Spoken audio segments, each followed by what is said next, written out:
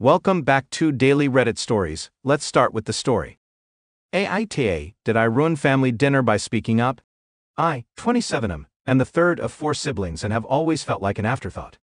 Lori 33, Chuck 29 am, and Jade 25 f have always gotten the first and best from my parents and each other.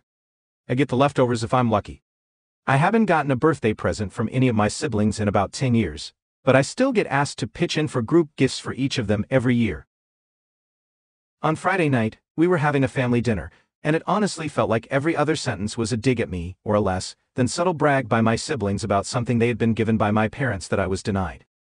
They talked about how nice almost all of our weddings were, but made sure to mention it was okay that my wife and I had a small, low key wedding. And it was okay, we loved it. But they brushed over that my parents paid for all of my siblings' weddings, but not mine. Because somehow they couldn't afford it, because they were saving up for Jade's wedding. They brought up how little student loans they have because my parents helped them. All of them lived on campus at expensive four year schools. I lived at home and went first to a very prestigious, very hard to get into watchmaking school.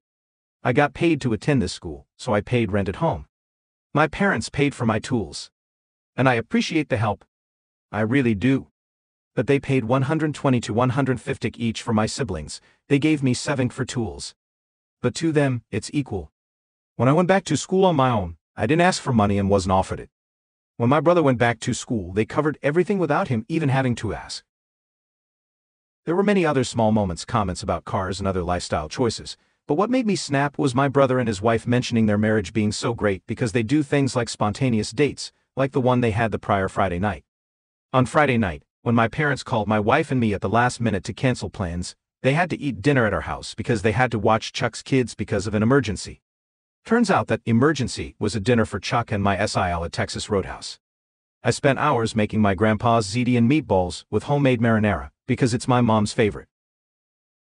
I wanted to scream at them more than anything, but instead I got up and left without saying a word, and my wife followed me. When my mom called me later to ask why I'd left, I explained exactly why. I explained the favoritism, the unfairness, and the fact that it doesn't feel like they care about me. She didn't say much, and I wasn't really looking for an explanation or an apology at the moment. I just felt like it was self-evident, but if she really didn't see it, I'd spell it out. Evidently, at least parts of what I said have been shared with my siblings, because now Chuck and Lori are furious at me and saying I ruined dinner, and my mom is upset that I am hurt. They say I'm immature for keeping score. AITA? My first draft contained some of this info, but I had to edit a lot to get down to the character limit. Some of this has been shared in other comments, but I'm just consolidating in hopes this is seen and answers questions. 1. There is no reason to believe I am not my father's child. The list of genetic coincidences that would be necessary for that to be the case is long and not worth rehashing. He doesn't have any male relatives that could explain it either. He has one sibling, my aunt, and none of his cousins have ever been in his life, or even remotely local. I look just like my paternal grandfather. I always have. He died when my father was young, but by all accounts, he was a good father and is remembered fondly. 2. My younger sister has been the beneficiary of many, if not most of the things my parents chose not to give to me, but she did not ask for any of that, and has been one of the only people consistently trying to make it right. For goodness sake, she was trying to fix it when she was six. She has definitely not seen everything, but she has tried to correct what she has seen. She is perhaps guilty of assuming the best of people and not asking questions, but she isn't heartless, and getting angry at her isn't going to fix anything. We talked for a long time after I posted this. She had been told she was contributing a birthday gift for me every year since at least 2018. She gave money to my older sister to buy my wife and me tickets to my favorite soccer team. And then when my wife and I inevitably posted about going to games, she assumed one of the games we went to each year was the gift she had been contributing money towards. There is a lot of backstory there, but the gist of it is that Jade and I have always gotten along well, and Jade does not participate in singling me out negatively. She and her husband spend time with my wife and I frequently, usually just the four of us.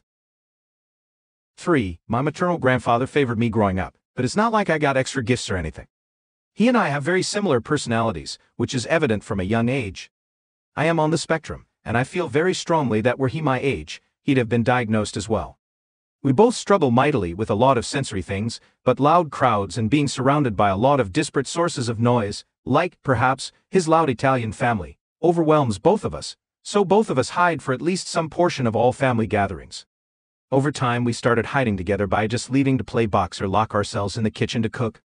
As an adult, he has made comments that indicate he sees that I'm not being given as much, and in the last two to three years, he has definitely given more items to me than anyone else, things he wants me specifically to have if slash when he passes and that he wants me to enjoy now. That was definitely a source of tension on Friday. He is quite wealthy, and my older siblings are accusing me of trying to enrich myself through inheritance. I have no clue what his plans are, and I have not, and will never ask.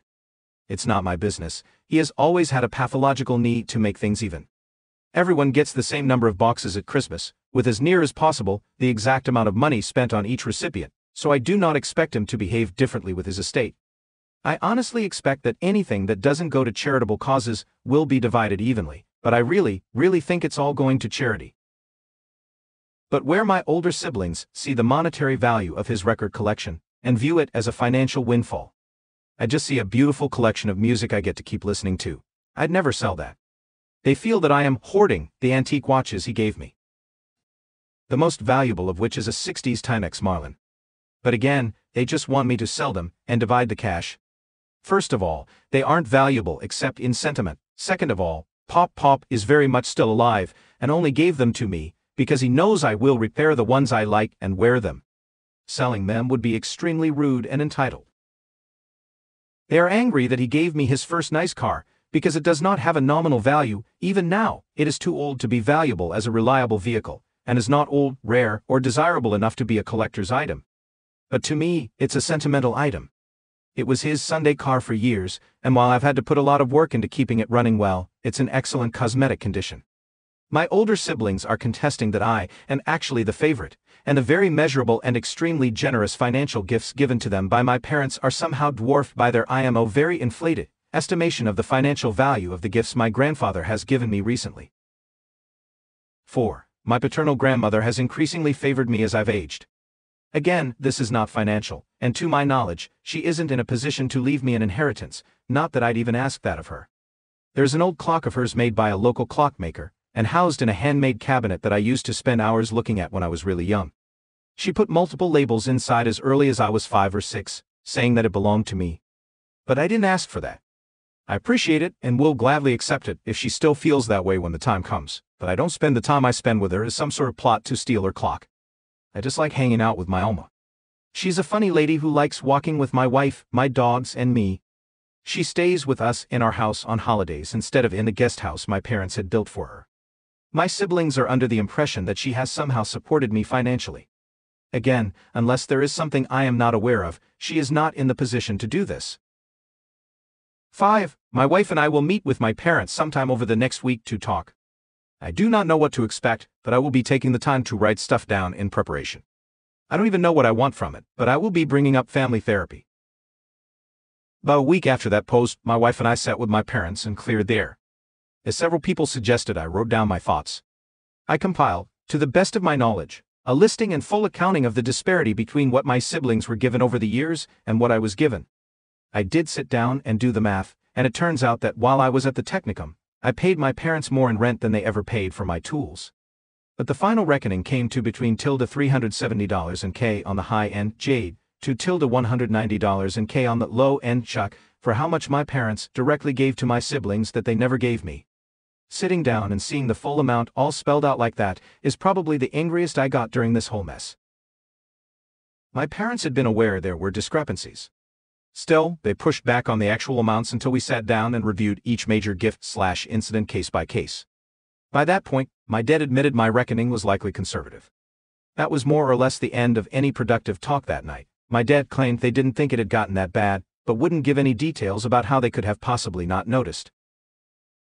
In the interim, Chuck and Lori continued to escalate their anger and continued to call and text me, my parents, and my extended family. I have not spoken to either of them directly since and don't expect to soon. Roughly a week after that first sit down, my mom and dad asked to meet again. Lots was said, but the gist is this they felt I was doing well and didn't need their help. Basically, they thought I would be fine without them. They admitted they probably lived outside their means and gave more to my older siblings than they should have, and could never have given me that much. They claim the timing of my wedding lined up with probably the direst of their overspending slash lack of saving, and that they did not have the funds to live up to their promise, especially as they were paying for Jade's tuition, car and apartment at that time. They have offered money, they have offered to pay for vacations, a car and all kinds of stuff, but I think they don't really get it yet. My wife and I don't want their money, but we aren't sure yet what an ideal resolution to this looks like. At least they have admitted they were unfair and are open to working things out. My wife and I spent Easter with Jade, her husband, and my grandparents, and my mom and dad came over in the evening. This seems to be more or less the new normal for now.